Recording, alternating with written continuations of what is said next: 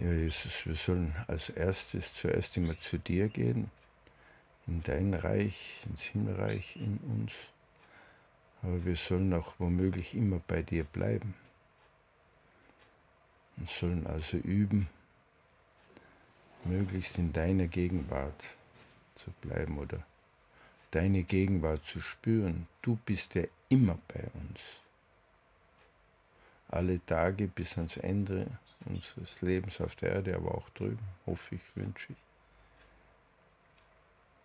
Aber du lässt uns den freien Willen.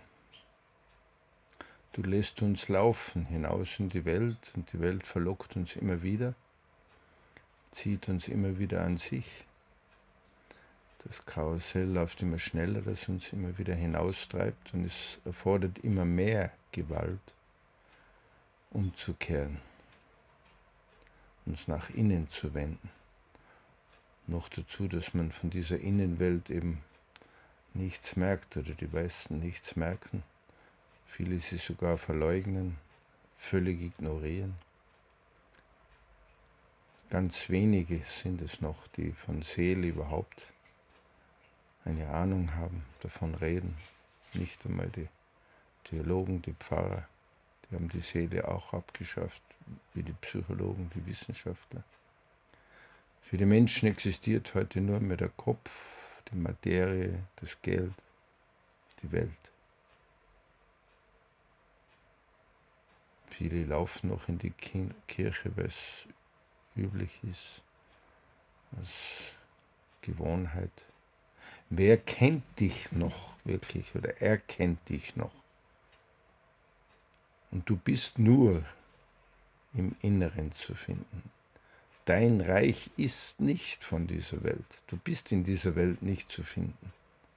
Wenn wir dich finden wollen, müssen wir nach innen gehen, in unser Herz. Nur dort bist du zu finden.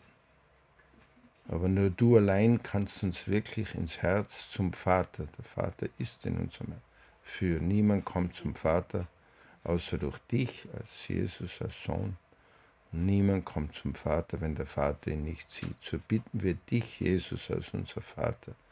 Zieh uns weg von der Welt und zieh uns hinein zu dir jetzt, wo wir zwei oder drei in deinem Namen versammelt sind. Zieh jeden von uns wirklich an dein Herz. Lass uns deine Gegenwart wirklich spüren. Lass uns womöglich innen mit unseren inneren Augen, mit den seelischen Augen dein Antlitz sehen, deinen Atem spüren, deinen Herzschlag.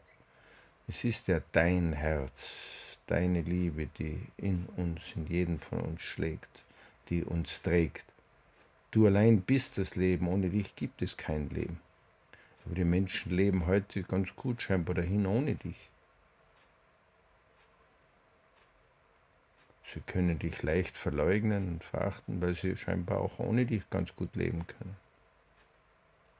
Sie können ruhig lachen über die, die noch an dich glauben. Die glauben, dass du wirklich das Leben bist, dass ohne dich nichts geht, dass es ohne dich kein Leben gibt, dass du wirklich das Leben selbst bist. Es ist wirklich für einen gebildeten, verbildeten Menschen sehr, sehr schwer zu glauben. Weil er ja sieht, dass die Menschen, die völlig gottlos sind, keinen Gott glauben, an kein Leben der Seele, das gar nicht Leben nach dem Tod glauben, die nur an den Körper, an die Materie glauben und glauben, dass so etwas wie Seele vielleicht eben nur Ausfluss des Gehirns ist, also nach dem Tod aus ist. Was sollen wir gegen die sagen? Wir haben nichts in der Hand, keine Beweise. Die haben alle Beweise in der Hand gegen uns. Wir sind völlig hilflos, ohnmächtig, ohne dich. Du bist unsere einzige Hilfe. Jesus, hilf uns, hilf uns in dieser Welt so zu leben, wie es dein Wille ist. Dir zu dienen, lass uns dein Werkzeug sein. Zeuge sein der Werke, die du uns und durch uns tust. Lass uns auch Zeuge sein der Worte, die du in unser Herz hineinsprichst und durch uns durch zu unseren Mitmenschen. So wenn es dein Wille ist, auch sprichst du jetzt zu uns, in uns. Und lass dein Wort weiterfließen zu all den Seelen, die mit uns verbunden sind, diesseits und jenseits. Dein Wille geschehe allzeit und allerorts, hier und überall. Amen.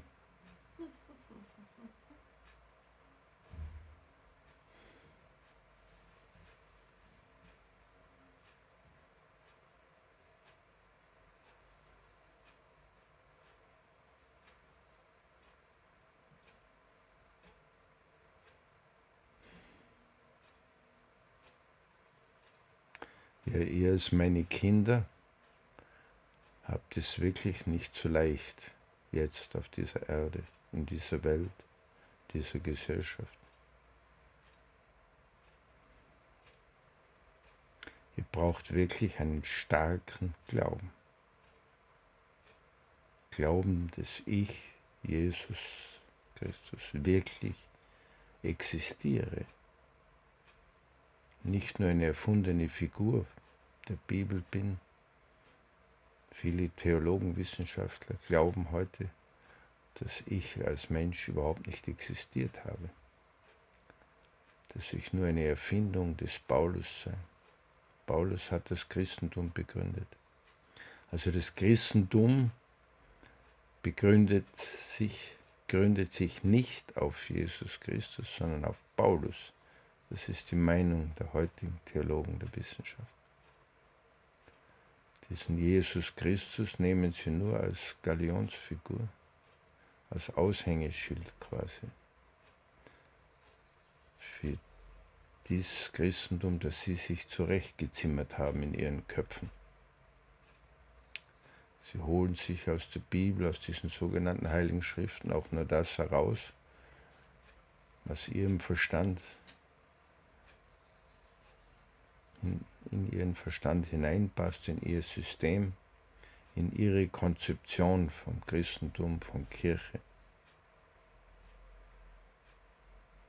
Sie haben sich einen Stellvertreter Gottes in Rom aufgezogen, aufgepäppelt quasi, großgezogen, an den sie sich hängen und an seine Vasallen, an Kardinäle, Bischöfe, Priester, die sie ernannt haben nach ihrem Ding.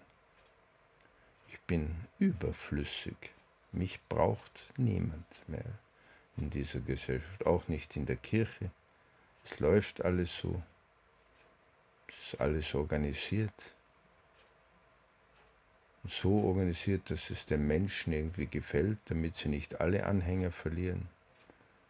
Es wird den Menschen nach dem Mund geredet, die Bibel auch nach ihren Vorstellungen ausgelegt, mit der Welt,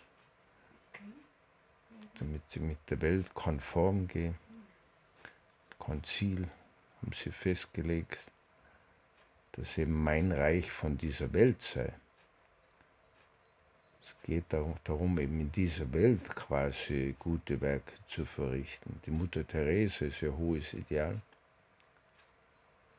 meinen Satz, mein Reich ist nicht von dieser Welt, von dem spricht kein Mensch mehr. Ihr Reich ist eben von dieser Welt. Und auch ihr jetziges Christentum ist von dieser Welt. Keiner mehr kümmert sich um die andere Welt, um ein Jenseits. Du musst hier in dieser Welt Christ sein, nicht erst im Jenseits, im Himmel.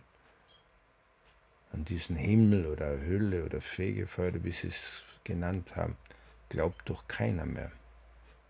Wenn dann nur aus Gewohnheit so, aber wirklich daran glauben. Es glaubt heute fast jeder, dass es aus ist nach dem Tod. Es wird öffentlich, offiziell vertreten, Glaubensmeinung. Der ganze Mensch stirbt. Das ist eure ganz Tod-Theologie. Dabei meinen sie sich auf die Bibel oder auf das Judenchristentum berufen zu müssen. Im Judenchristentum gibt es keine Seele, nur den ganzen Menschen. Und wenn er stirbt, ist der ganze Mensch tot. Früher redeten sie noch von einer Auferstehung des Fleisches und Auferstehung der Toten. Daran glaubt aber in Wirklichkeit niemand mehr. Keiner kann sich vorstellen, wie das sein sollte, diese Auferstehung von den Toten. Wo gehen dann die alle hin, wenn alle Toten auferstehen würden? Es wird da sehr vernünftig und sehr intellektuell und sehr gescheit geredet, argumentiert. Ja, wenn ihr nicht werdet wie die Kinder, werdet ihr nicht ins Himmelreich eingehen. Versucht euch mit meiner Hilfe wirklich zu lösen von all diesem Denken, Reden, Tun, was heute die Welt beherrscht. Von diesem Glauben, der im sogenannten Christentum geglaubt wird, von diesen Dogmen, von diesen Lehrsätzen, diesen Konzeptionen, die sie noch so gescheit und vernünftig aufgebaut haben. Versucht euch von all dem zu lösen. All dies hat sich in euer Denken, in euer Bewusstsein, wie es nennt, eingegraben. Es liegt quasi in der Luft. Jeder weiß so quasi, was man heute denkt oder denken darf und was nicht, damit man up to date oder wenn man nicht up to date ist, muss man abgedatet werden, wie ihr sagt. Ihr müsst auf, auf den höchsten Stand oder auf den letzten Stand der Dinge, auf den letzten Stand des Denkens, was heute üblich ist, was man eben so denkt.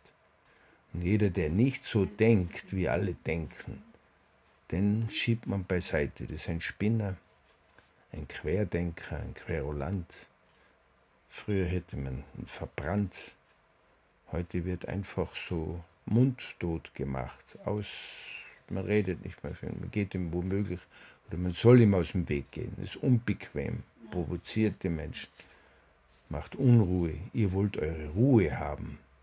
Ihr wollt euren Schlaf in eurem Christentum dahin träumen. Und ihr glaubt ja, dass nach dem Tod dann der ewige Schlaf oder eben aus ist. Dass es wirklich ein Leben, eine Aktivität, ein wirkliches Leben nach dem Tod gibt. Wer glaubt das wirklich? Glaubt vielleicht immer so einen Seelenschlaf. Ihr glaubt das, weil ihr jetzt schon eure Seelen schlafen, beziehungsweise halb oder ganz tot sind. Und es braucht einen dringenden Rüttler, damit eure Seelen wach werden. Und dieser Rüttler wird kommen, auch von außen. Das Erdbeben sind Feuer, alles mögliche, Unfälle oder Katastrophen.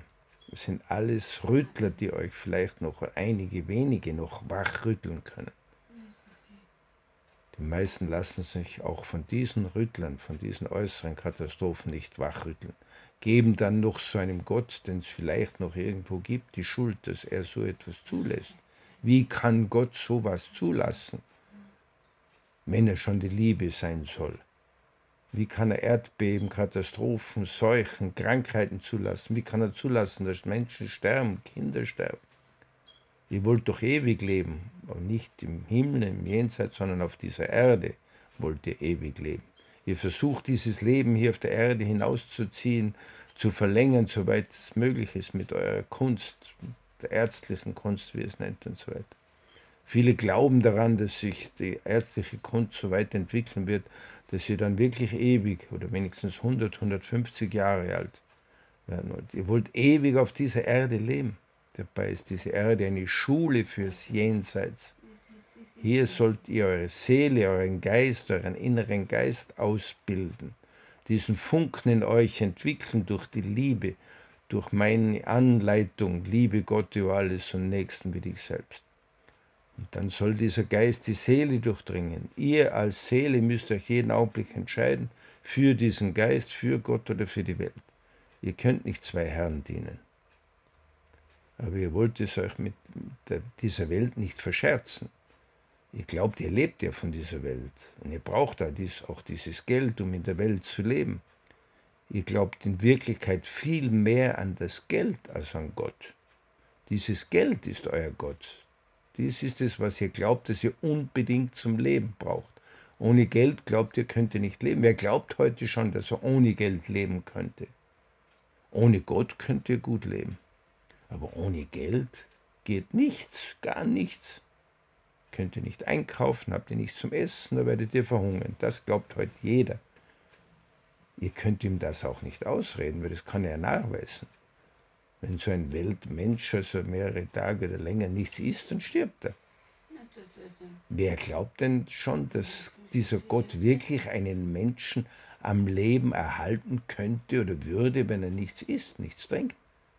Wer glaubt das wirklich? Dass Gott noch so eine Macht hätte, hier in diese Welt einzugreifen und einem Leben auch, einem Menschen auch ohne Nahrung am Leben zu halten? Wer glaubt, dass wirklich Gott die einzige wirkliche Nahrung ist und das Leben gibt? Wer glaubt das schon? Prüft euch einmal ehrlich, was ihr wirklich glaubt. Ob dieser Gott für euch wirklich eine Wirklichkeit noch ist, dass er wirkt, dass er heute noch wirkt. Glaubt ihr daran, dass er auch in euch oder durch euch wirken kann? Ihr sollt der Werkzeuge sein dieses Gottes. Ihr sollt nur Zeugen sein, nicht die Macher, nicht die Werker. Gott allein ist der Werker. Ihr sollt ihn in euch und durch euch wirken lassen, ihm seine Hände, eure Hände reichen, eure Füße, euren Mund und vor allem euer Herz sollt ihr ihm schenken. Ihr sollt ihn im Herzen ergreifen und im Herzen Wirklichkeit werden lassen. Prüfet euch, was wirklich, wirklich ist, woran ihr wirklich glaubt. Was ist wirklich eure Wirklichkeit? Prüfet euch einmal ganz ehrlich.